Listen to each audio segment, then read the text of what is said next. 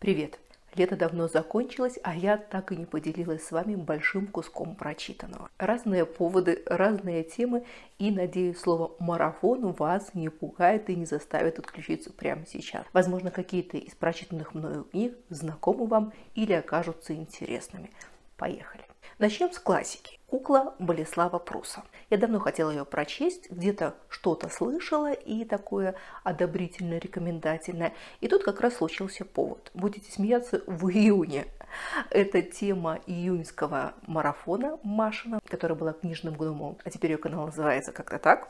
И Маша предложила в качестве июньской темы славянских авторов. И Болеслав Прус отлично вписался в эту тему. Книгу я в кои-то веке решила в аудиоформате употребить. И сюрприз-сюрприз оказалось, что это внушительный томина, на самом деле трехтомное произведение. И в общем этом своем трехтомном сложении в бумаге книга занимает где-то примерно тысячу страниц, 900 с каким-то таким приличным хвостом. На самом деле у такой многостраничности есть основания. Это большущая история, вмещающая в себя и какие-то социальные, политические, экономические моменты, происходящие в Европе, в частности в Варшаве, но и в окрестностях тоже в конце XIX века.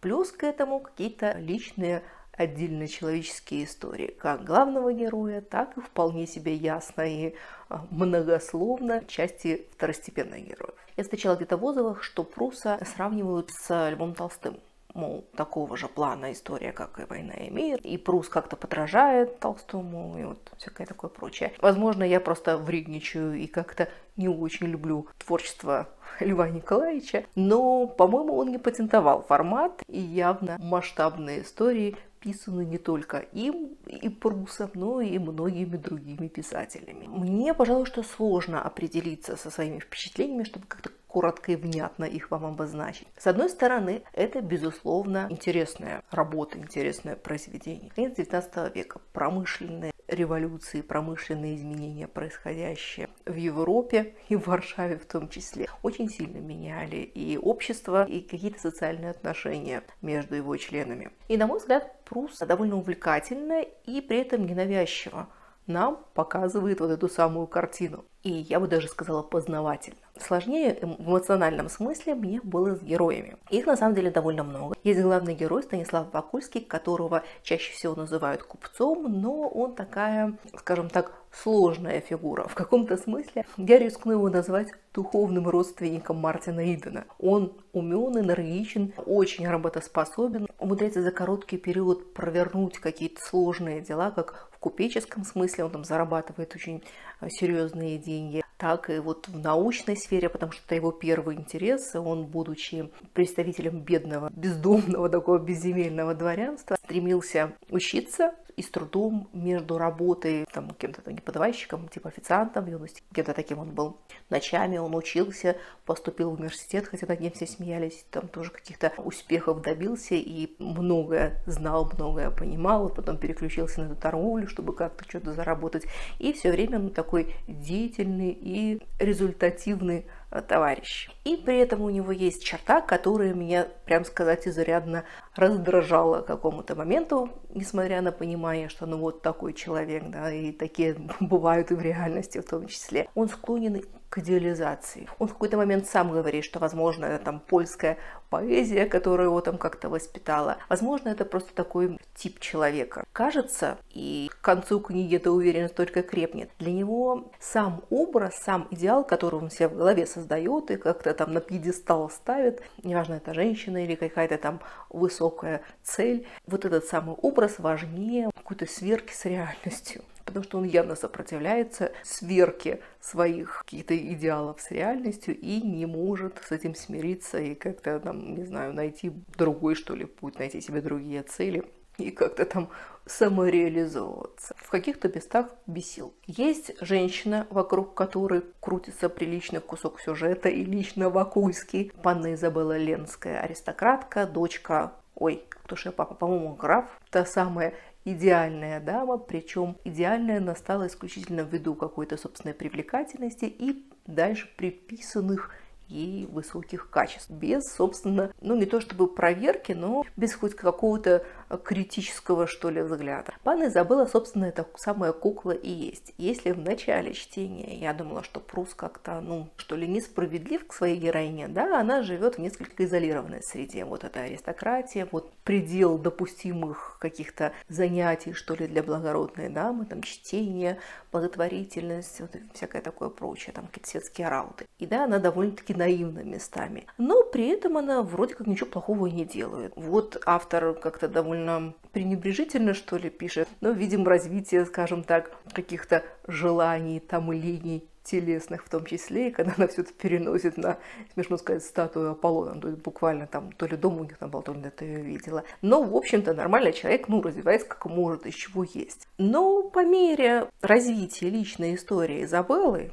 я постараюсь не сильно спойлерить. Но вот, например, вся эта прекрасная панна, такая высокодуховная, по мнению Вакульского, идет со своей теткой устраивать благотворительное какое-то мероприятие, сбор пожертвований в костеле. Тетка собирает эти самые пожертвования, то есть она там вполне себе комфортно чувствует в этой среде. Чем занимается Изабелла? якобы помогающая тетке и очень волновавшаяся, что ее вроде как не пригласили. Изабелла сидит и скучает. Ну а что ты тогда приперлась? Другая пожилая дама в этой истории тоже занимается благотворительностью и дома у себя в поместье, в смысле, строит что-то вроде сиротского приюта, э, оказывает какую-то помощь крестьянам. И когда ты читаешь о жизни вот в этой ее деревне, то точно можно быть уверенным, несмотря на все ее какие-то, возможно, особенности, вот такие условно аристократические стремления там, покровительствовать, еще чего-то там, возможно, в каком-то месте она чуть наивная или как-то там тоже оторванная от реальности. Но, тем не менее, все ее не крепостные, как это называется, все крестьяне, которые живут в ее поместье,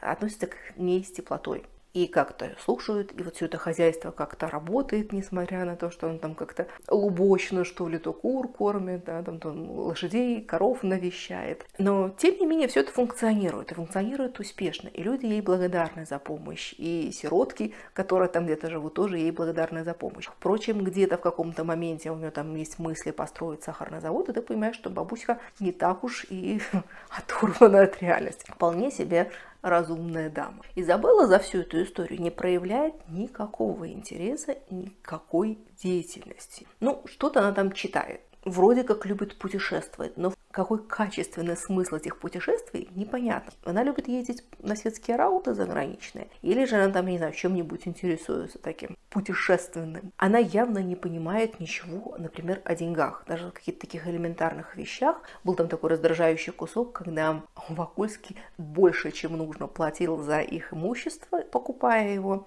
дом какой-то, и она, размышляя на эту тему, была очень раздражена и думала, что вот, что за благотворительность, и как он так оскорбительно значит, к ней мог поступить. Потом она, правда, нормально эти деньги приняла и очень по-дурацки считала, что верила своему папеньке в его прекрасных размышлениях, что дом не может стоить там 60 тысяч, а должен стоить там 200 тысяч или там 100 с чем-то, потому что вот ему так захотелось.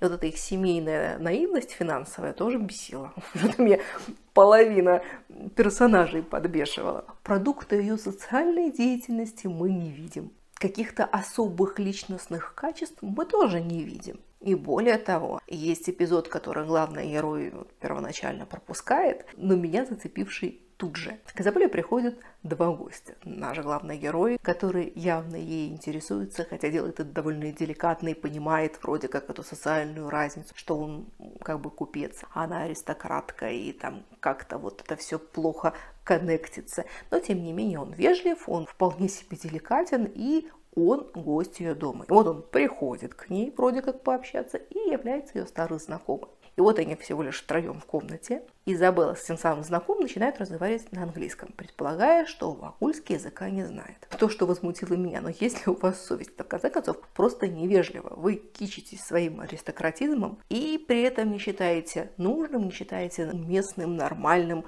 как-то вот общее языковое поле соблюдать. Хотите что-нибудь там обсудить, но обсудите потом. Ну, понятно, что я возмущаюсь поведению литературных персонажей, но тем не менее. И повторюсь, никаких прекрасных изабельных качеств до конца истории мы не видим. Так что к концу истории я вполне согласна с э, наименованием данным ей автором кукла. Бесполезная, временно красивая кукла с претензиями, с ожиданиями, что весь мир почему-то ей должен. С чего бы? Мне кажется, что несмотря на вот эту личностную неприятность некоторых персонажей, Прусу удалось представить читателю свое множество портретов персонажных. И я бы сказала, что они живые. И старый приказчик, который знает того же Вакульского много лет, и который вроде как не главный персонаж, но его в книге много. И вот в реальном времени, и в каких-то его дневниковых записей, то есть таких рефлексивных моментов тут тоже достаточно. Есть парочка эпизодов переживания каких-то очень сильных чувств и то, как персонаж справляется со всем вот этим внутренним происходящим. Это тоже довольно-таки любопытно почитать. Но история читается долго. И сам вот этот объем, я как будто бы несколько устала, дочитав книгу, но при этом я довольна, что ее прочла. Не уверена, что эта книга понравится каждому читателю, она довольно-таки неспешный, пространно в каких-то своих описаниях. Кстати, кроме Варшавы, центрального города, в котором происходит действие, здесь еще есть немножко Парижа и парижской жизни, светской, чуточку, но тем не менее есть. Здесь много персонажей с разным букетом моральных качеств, с разным набором ценностей и с разной историей. Личная, социальная, политическое, экономическое, вот между делом, любопытно, пусть и многословно. Так как я слушала книжку, я не могу сказать точно, это сказал сам Болеслав Прус или же так нам говорят переводчики. Но в книге есть упоминание о польском восстании 1863-64 годов. И это очень задевает, потому что нас нету и здесь. Мы какая-то нация-призрак. Ни к повстанию отношения никакого не имеем, ни к Элизия Ожешко, которая одна из значимых польских писательниц. Она действительно написала на польском, но не только польская. Я понимаю, что большинству из вас, в общем-то, этот вопрос не актуален, но меня эта тема задевает. Задевает, и, как видите, хочу об этом, если не поговорить, то упомянуть. Какое-то пугающее ощущение оставляют вот такие ремарки. Но не пугайтесь, заглубляться сейчас я не намерена, да и рискованно это нынче, в нынешних наших условиях. Так что поехали дальше к следующей книге. По июльской теме мне бы хотелось снять отдельное видео, поэтому сразу перейдем к августу. В августе в марафоне была просто прекрасная тема и обильная в смысле возможных вариантов. Это любимый автор. Я сразу подумала вот об этой истории которое я давным-давно собираюсь вам рассказать, и все никак не доходят руки, не сочетается с какими-то другими планами и временными возможностями моими. Но сказать честно, если бы я взяла вот эту книгу, а это МакЭфри, первый том пермского цикла, то вы бы слушали об этом цикле до тех пор, пока я его не перечитаю. Я все еще планирую в этом году отдельное тематическое видео о цикле целиком, но не сейчас. Поэтому я вспомнила о другом авторе, на книги которого я обращаю внимание, автор которого я ценю, не только из-за качества, что ли, его текстов, да, но и из-за тем, которые он выбирает, и вообще он, мне кажется, интересным вот как личность, как человек. Это Оливер Сакс. Книга называется «Галлюцинации». Собственно, книга целиком посвящена этой теме, галлюцинациям, и в том числе, собственно, автора Честно сказать, я испытываю сопротивление называть эту книгу нонфиком. По сути, несмотря на то, что написано она вполне себе, ну, на мой взгляд, по крайней мере, комфортным, таким интересным, увлекательным языком, это вполне себе научная работа. Автор на основе своего опыта, опыта своих пациентов и своих корреспондентов, то есть люди ему писали и рассказывали вот о опыте галлюцинирования, Сакс строит такой вполне себе научный труд. Поэтому, если вы вообще не имеете никакого отношения вот к области нейробиологии, нейрофизиологии, психологии, в том числе и психиатрии, и плюс вообще ничем таким не интересуетесь, то, возможно, книга не покажется вам интересной. Но, например, студентам, психологам, психиатрам будущим или еще кому-то из специальностей занимающимся изучением деятельности мозга, на мой взгляд, книга будет даже полезна. Как минимум, качестве каких-то портретов особенностей функционирования мозга в целом той или иной части этого мозга,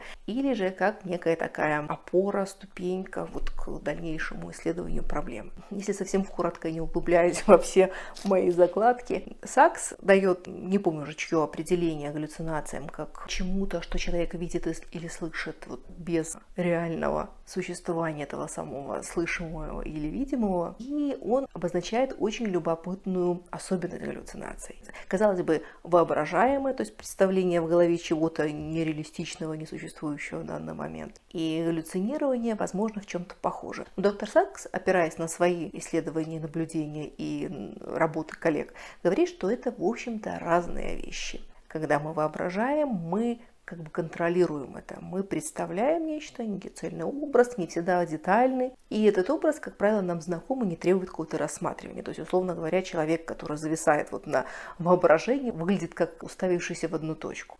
При галлюцинировании мозг воспринимает вот этот нереальный объект или там звук как настоящий незнакомый, начинает его рассматривать. Какие-то такие процессы происходят, как будто бы человек встречается с чем-то реальным.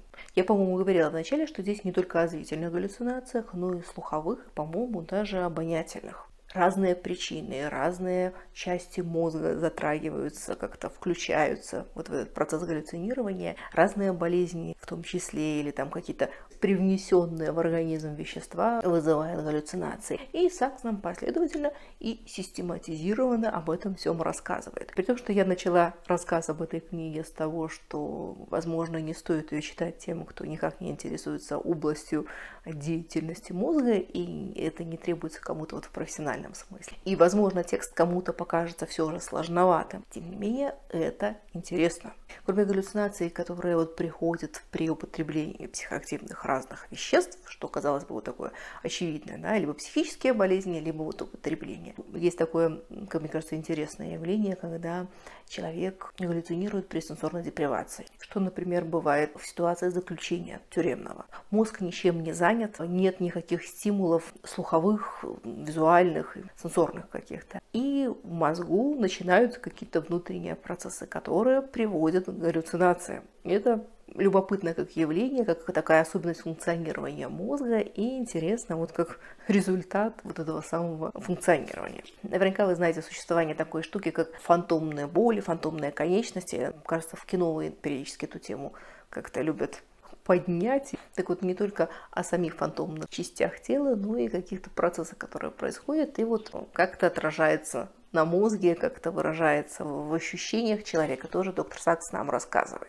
Это не только интересная для ограниченного, возможно, количества читателей книга о работе мозга. Это еще и с социальной точки зрения интересно. При определенных условиях, при определенных заболеваниях у человека случаются, например, слуховые галлюцинации с сопутствующими вот переживаниями эмоциональными. И, возможно, все вот эти исторически значимые переживания встречи с высшим существом, в общем-то, из этой же серии, из галлюцинаций. По сути, человеческая психика во внутреннем своем каком-то пространстве что-то продуцирует, что-то такое своеобразное, не всегда добродушное, скажем так просто. И Последствия, если галлюцинирующий как-то значим, да, имеет какой-то вес в обществе, это некий там, не знаю, там, правитель, некий значимый там, религиозный деятель, то последствия вот этого вот, в общем-то, галлюцинирования сказываются на окружении вот той или иной ширины. Это интересно, когда ты читаешь о событиях минувших дней, но это страшно,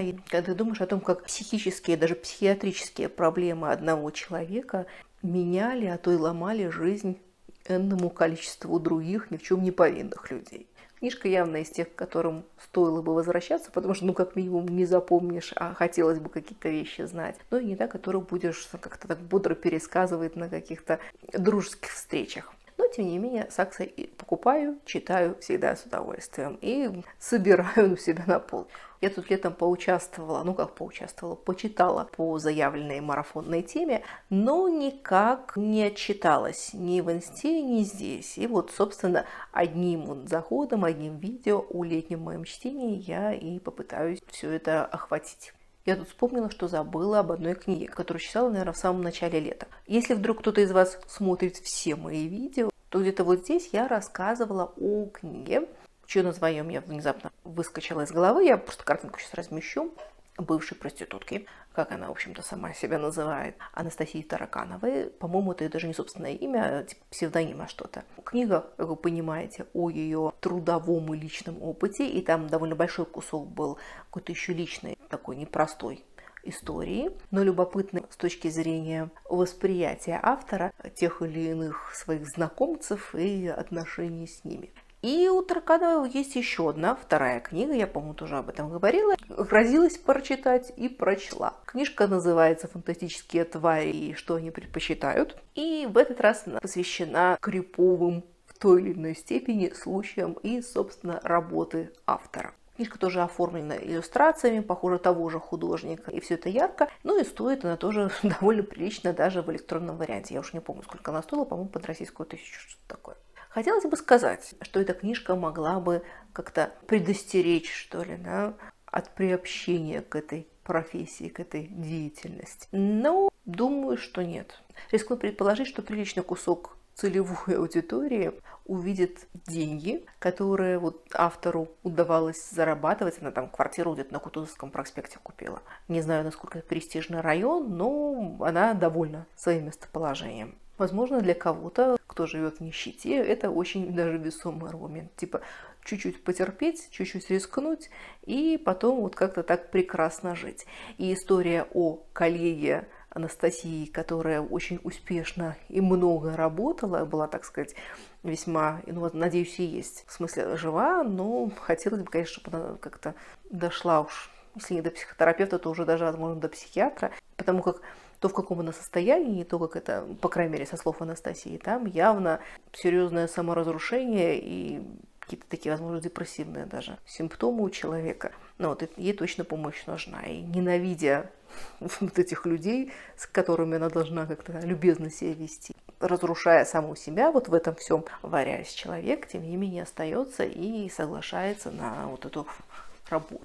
Понятно, что Тараканова выбирает, выбирала, когда писала эту книжку, заметные какие-то случаи, такие интересные, что ли, своей необычности, непривычности, способности вызывать какую-то такую эмоциональную реакцию. Но если предположить, что читательская оценка того или иного случая, тех или иных особенностей клиентов вот, автора и главной героини будет все-таки различаться. Возможно, это звучит оскорбительно для того, у кого есть какие-то похожие склонности, но я скажу как есть. На мой взгляд, человек, который просит как-то себя унижать, какой-то такой развернутой сексуальной сцене, то есть обзывание своего вот адрес он ждет и все вот такого, то это, в общем-то, перверсия. И при этом он вроде как никому не вредит. Это скорее в его адрес такие я бы сказала, неприятные действия совершаются, которые он воспринимает как э, приятные и возбуждающие. Это ну, перверсия, но она никак не вредит основной массе окружающих людей. И есть другой человек, который позволяет себе, так сказать, оплатить услуги сексуального характера, приводя к себе домой вот работницу, и приводит не просто к себе домой, а в дом, в котором недавно родились дети, там жена где-то где с ними отсутствует, и человека ничего не смущает. Ну и сам по себе он там выпивающий, потребляющий весьма мерзкий тип. Вот этот вариант, мне кажется, более криповый неприятный, например. В общем, боюсь, это не будет отвращающим от трудовой деятельности текст, но отвращающих тех, кто как-то очень стремится и надеется на свои таланты в этой области, на легкость заработка и все остальное. Но тем, кто хочет почитать про опыт работы будет, вероятно, интересно. Кто хочет прочитать про какие-то неприятные вещи. И в целом, как такой чужой опыт, человеческие тоже портреты в какой-то степени, хотя и такие краткие. И да, много человеческой такой мерзности, прям сказать. Не знаю, насколько там достоверные портреты, насколько сгущает или не сгущает автор краски и приписывает кому-то довольно противные особенности поведения. Ну вот книжка есть, кому интересно, тот ее может прочитать. А мы наконец-то переходим к марафону Юлии Books Round Me. Это летний марафон, каникулы с книжкой, и Юля обозначила шесть тем, в рамках которых нужно прочитать как минимум по одной книге, и любезно расшифровала каждую из книг. Не знаю, как вам, но мне такие штуки очень помогают, потому что хотелось бы знать, что хочет сказать автор. Ну и как-то не ошибиться, не уплыть в ассоциациях и правильно выполнить условия марафона. Первый пункт называется школьный список. То есть какие-то произведения, которые человек, я в данном случае, хотел бы перечитать из школьного списка произведений. Я, возможно, несколько схалтурила, потому что Владимир Семенович точно есть в школьной программе. Пока что, по крайней мере, а то он Алексеевич вроде как выкинули. Но я не помню, точно ли есть это произведение, хотя вполне возможно. Оно как раз такое часто подросткам рекомендуемое. «Дикая охота короля Стаха». У меня, как видите, подарочное издание, это, это мне еще крестная подарила моей наводки. И это как раз из тех подарков, которые я ценю и помню до сих пор. Мег, видите, несложно порадовать, главное с книжкой не промахнуться. Я вам, естественно, покажу на подсъемке. Это такое иллюстрированное, богатое, даже я бы сказала, иллюстрированное издание. И местами иллюстрации, вот когда на эту имитацию пергамента накладывается текст курсивный, то несколько неудобно читать. Но при этом книжка красивая. Это детектив и с некоторым намеком на мистику. С намеком в том смысле, что вроде как происходят какие-то непонятные мистические события, появляются некие инфернальные сущности, но, тем не менее, длительную часть чтения ты думаешь, правда ли это, неправда ли это. Автор рассказывает нам про некий человеческий сволочизм или все-таки про, например, призрака. По-моему, это тоже где-то примерно конец 19 века, ну точно 19. Ну и так как это Владимир Семенович, без исторического контекста и каких-то размышлений о судьбах людей, о судьбах народа, крестьян в том числе, здесь, естественно, не обошлось. Что-то мы видим вот в общей картине, и текст, написанный от первого лица, от лица главного героя, позволяет вот усилить это эмоциональное ощущение, потому что мы волей-неволей сливаемся с чувствами, с переживаниями этого самого главного героя. Главный герой, молодой ученый-фольклорист, тоже весь такой пламенный идеалист, приезжает в совершенно глухую область Беларуси. Болото, причем такие бесконечные формирующие ландшафты и, в общем-то, определяющие образ жизни скудный местных жителей. Плюс это осень, и, по-моему, такая довольно поздняя. И Владимир Семенович мастерски нам передает атмосферу, очень такую угнетающую, безысходную от этой местности. Все это как-то захватывает, затягивает, как самое настоящее болото, и как-то отрезает от остального мира. И кажется, что вот есть ты, пара человек, болото, и странные существа, перед которыми ты, возможно, не властен. Главный герой по воле случая поселяется в доме в поместье практически угасшего дворянского рода, который был, ну, условно говоря, самым значимым, самым главным вот на весь там повет, на, на всю местность. От рода осталась юная девушка, лет 18, выглядит она еще младше, и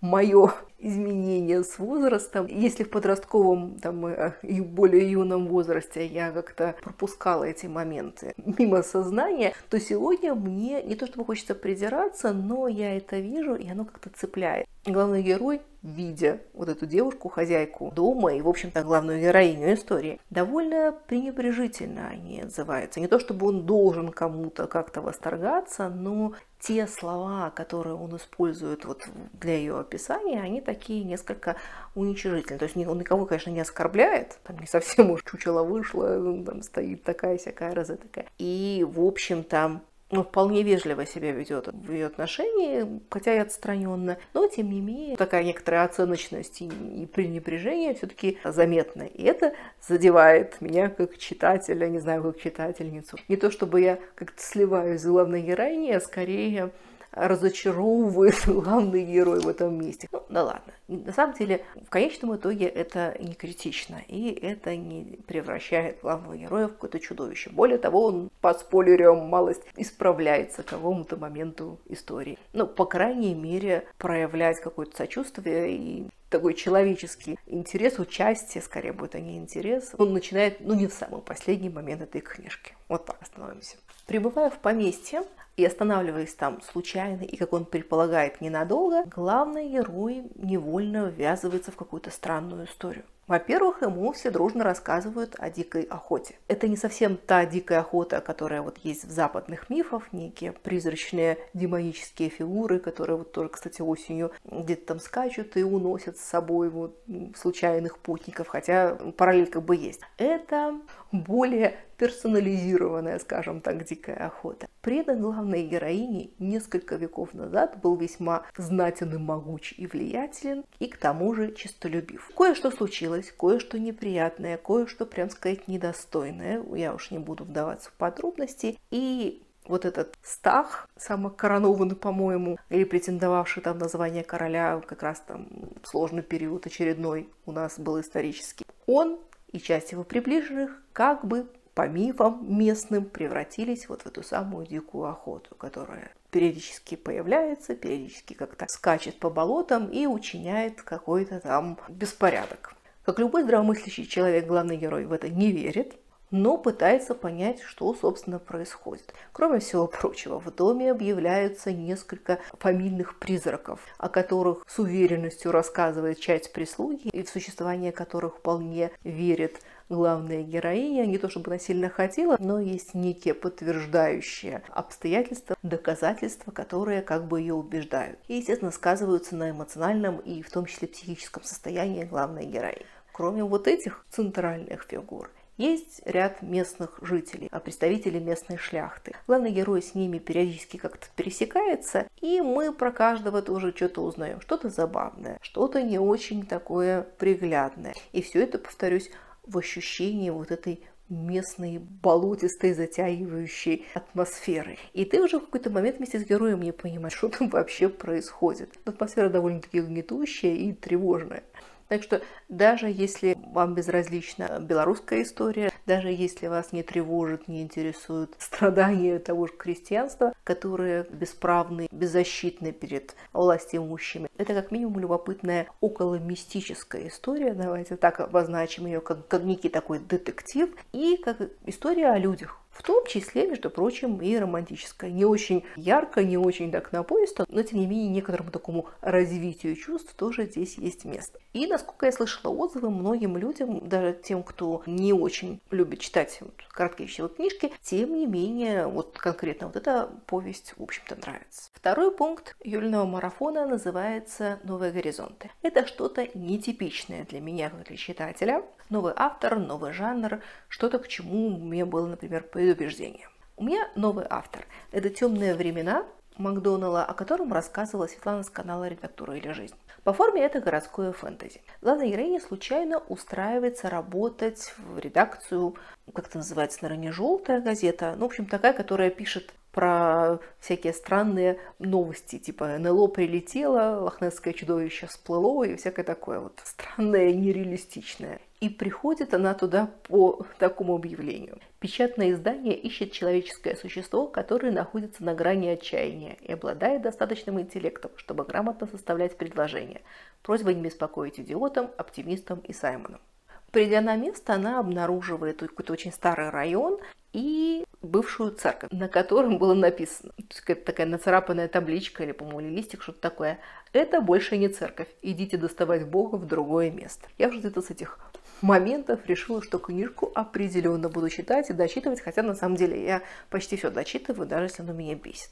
Как-то вот мне задевает этот момент, когда приходится оставлять. Главная героиня знакомится со своими странноватыми коллегами и шефом, который не только мало и странно, но еще и местами довольно агрессивно себя ведет. И постепенно встраивается вот в странную жизнь вот этой газеты. Чем-то история как будто бы напоминает Батчера, его вот эти городские истории. Чем-то Терри Пратчета, особенно вот такими забавными какими-то ремарками, какими-то фразочками. Опять же, вставки якобы из газеты, довольно забавную. Например, всякие истории о возможном вампире, который ходил в музей восковых фигур и там надгрызал эти самые статуи, чтобы как-то перебиться и не потреблять. Или, например, о музыке, когда самопровозглашенный лидер станинской секты заявил, что, мол, несмотря на поклонение его господину многочисленных музыкантов хэви-метал групп, тот предпочитает на самом деле песни ирландской исполнительницы Энни. А, да, я не сказала, это тоже детектив. Удобная на самом деле форма для развития истории, для вовлечения читателя.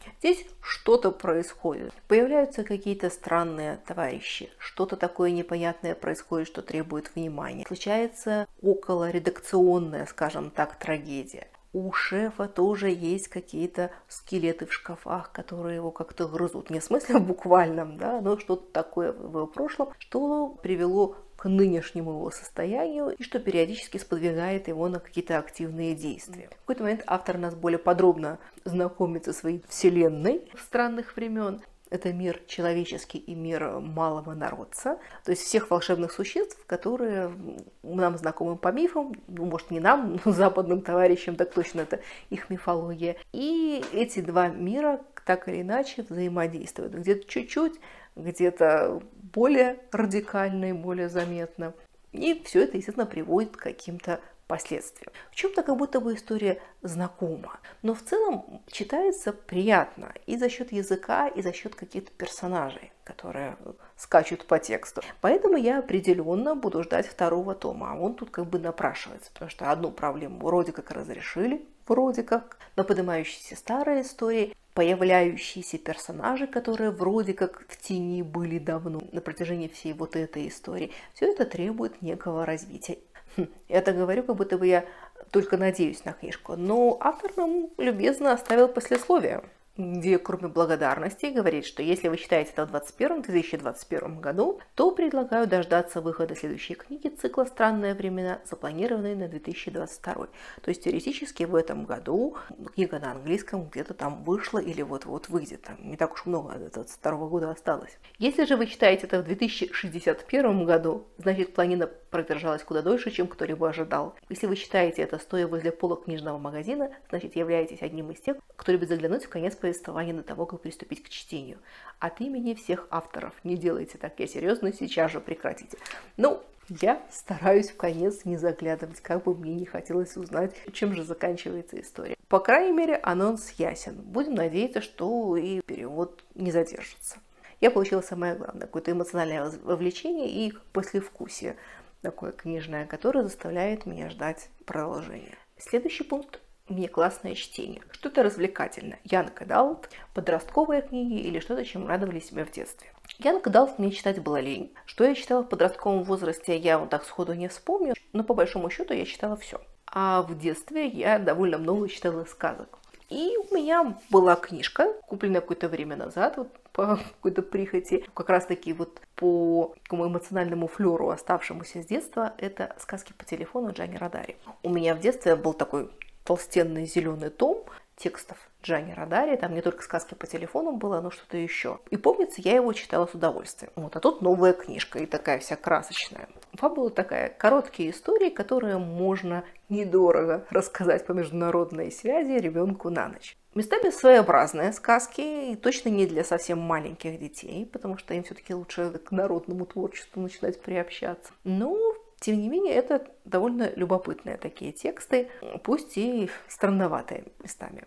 Хэштеги и нашлепки меня традиционно раздражают, но отковырять их не получится. Эксмо попортили книжку, как на мой взгляд, на мой вкус. Четвертая тема этого летнего марафона – в долгое путешествие. Циклы либо начать цикл, либо продолжить. Ну, возможно, можно было перечитать. Казалось бы, отлично сюда вписывается эта книжка. Но высокая вероятность ныряния в цикл и не читания больше ничего по-прежнему на месте. И тем более было бы нечестно брать одну и ту же историю для разных тем разных марафонов. Но есть цикл, о котором я вам рассказывала, а часть книг отдельно я рассказывала по мере чтения. И я остановилась вот на ээтой книге. Киборг и его лесник, Оля Громыко. Многим из вас известны и любимы, как я это точно знаю, цикл о команде космического мозгоеда. Не спешите строчить комментарий о том, что космический мозгоед имеет здесь скорее камео, а не полноценную сюжетную линию. Я знаю, я читала. И более того, по-моему, кто-то из вас тоже мне об этом писал, и я совершенно согласна, книжку можно читать отдельно от всего цикла, потому что это, скажем так, в боквел. Это отдельная сюжетная ветка. Вселенная космоулухов широка и многоградна. Есть человеческие планеты, а есть миры, занимаемые другими разумными видами. Один из главных героев этой истории – человек. И живет он на относительно недавно заселенной планете, терраформированной под человеческие нужды. И работает этот самый главный герой по имени Евгений, он же Женька, он же Леший, в лесу лесником. В местном лесу, естественно, и лесником вполне себе традиционном представлении об этой профессии. Автор, если кто не знает, консультировалась с самым настоящим лесником вот о каких-то особенностях профессии. О приключениях, естественно, без всяких злодеев, космических пиратов тут никак не обошлось. О людях, что тоже прекрасно удается автору, и о мире, в какой-то степени об экологии. Потому что сам Эдем, лес Эдемский, в котором с любовью, прям скажу, работает главный герой, занимает значимое место и описан так живо и так богато, не побоюсь этого слова я, что читаешь с удовольствием. проникаешься, вовлекаешься, и описание природных явлений, каких-то существ, каких-то растений, каких-то биологических процессов, скажем так, происходящих вот в этом биоцинозе. Все это очень увлекает не только как э, такой альтернативный формат канала Discovery на бумажном варианте, но и эмоциональным откликом. Ты вовлекаешься, ты с удовольствием читаешь, ты представляешь себя на месте героев, где-то рядом с ними, и, не знаю, получаешь удовольствие от наблюдения за какими-то там существами, например. В конце концов, проникаешься симпатией к некоторым представителям этих самых существ, как, например, кабану Фильке, который тут бродит по окрестностям, общается с главным героем, пользуется некоторыми благами, которые может предоставить ему человек. И судьбой этого самого Фильки мы тоже к концу книжки весьма озабочены становимся. В истории, как намекает нам заголовок, есть еще и киборг, и это тоже один из главных героев. Хронологически это как раз тот период, когда уже существует общество защиты киборгов, где-то там в самом начале. Я не буду спойлерить тем, кто не читал о сюжете, попробуйте сами. И правда, не обязательно быть знакомыми там, с началом цикла. Скажу только, что развитие отношений дружеских в смысле, да, человеческих, вот между главными героями, их самопрезентация в мире, за всем этим интересно наблюдать, ты вовлекаешься, переживаешь за них, переживаешь за эти самые отношения и за успешность предприятия, в которое ввязались герои. Пятая тема – летняя атмосфера на обложке. В общем-то, тут и расшифровка не нужна, вполне очевидно. Я выбрала вот эту книгу «Колдовской апрель» Элизабет Форн Арнем. Да, я в курсе, я умею читать и вижу слово «апрель» в названии, но скажите мне, что это не лето. Для меня так точно. Опять нашлепка мировая классика, спасибо, что сказали. Я бы как-нибудь обошлась и без нее, и без мнение The Guardian, посмотрела бы только на прекрасный залив итальянский. Четыре женщины случайно встретились, случайным образом собрались в группу и отправились в отпуск некое итальянское поместье. Не так, некий итальянский замок. Это важное уточнение, потому что именно надежда на замок, на некую такую сказочность объединила этих женщин и было таким серьезным драйвером в этом мероприятии. Четыре женщины, англичанки из разных слоев общества, аристократка, представительница, я бы сказала, что интеллигенция, она тоже такая очень специфическая дама, пожилая, которая живет призраками, своими знакомствами с различными значимыми в литературе, в искусстве английской персонами, и вот этим она гордится, и это как бы центральная тема ее жизни. Особенно в самом начале истории мы практически не видим, не понимаем ее саму, но вот этот гонор, вот эти бесконечные истории о том, с кем она была знакома, с кем она там где-то ходила, кто что ей сказал,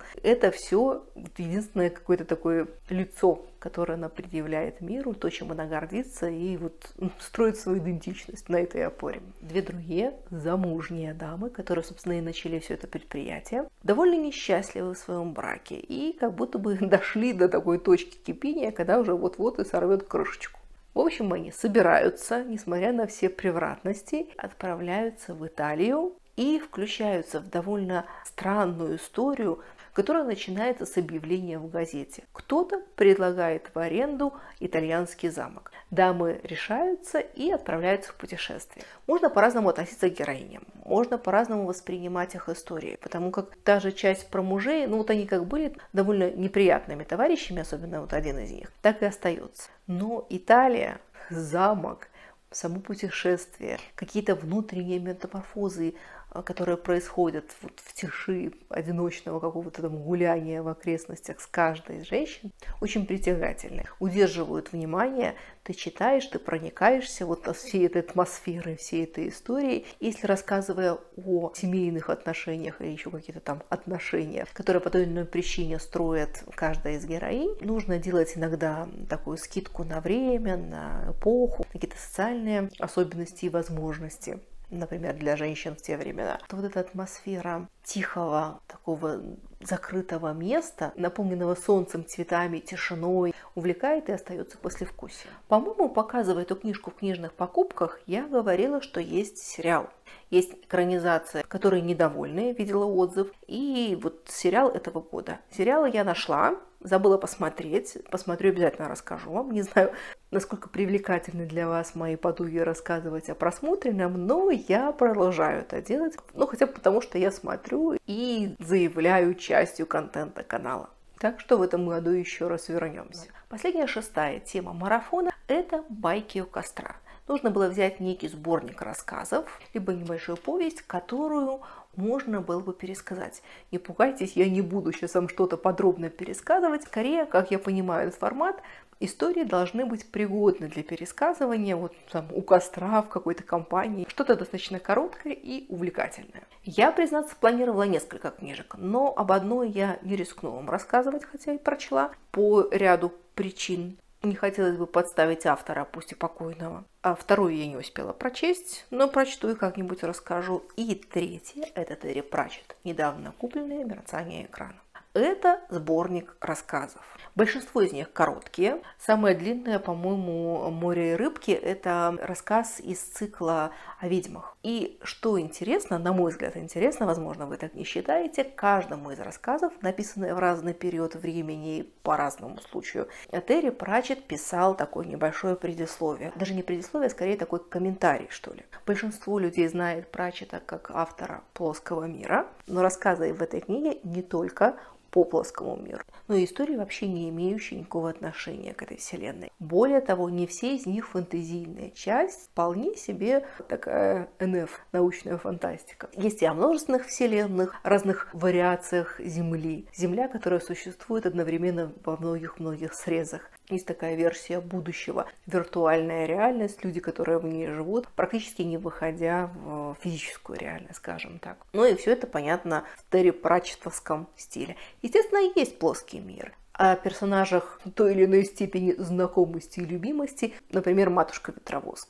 Практически все, наверное, ее знают, кто знает о существовании плоского мира. Или, например, о смерти. Есть целый блок, который озаглавлен «Медицинские заметки». Терри Пратчетт пишет, что на разных конвентах просят всякую билиберду вроде это для проведения каких-нибудь мероприятий. Так уж они устроены. Что-то получается, а иногда, возможно, получается хорошо. И медицинские заметки, насколько я помню, относятся к плоскому миру. Если вы любите Терри Пратчетта, определенно стоит читать. Если вы с автором не знакомы, не знаю, насколько это можно рекомендовать в качестве такого стартового знакомства. Про Терри Пратчетта определенно можно сказать, что это довольно своеобразный и заметный писатель, обладающий каким-то своим языком, стилем, чувством юмора. Пожалуй, что единственная рекомендация, которую я готова сделать относительно этого автора, это если вам не понравилась одна книга, попробуйте какую-нибудь другую, с другого цикла, подцикла, о других каких-то персонажах, возможно, что-то одиночное, или вообще что-то, что не касается, например, плоского мира. У него есть и такие истории. Понравится или нет, но в любом случае это довольно интересное знакомство.